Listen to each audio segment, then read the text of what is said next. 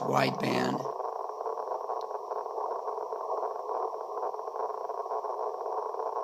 It's only on a 40 degree pennant or on a vertical. There's a vertical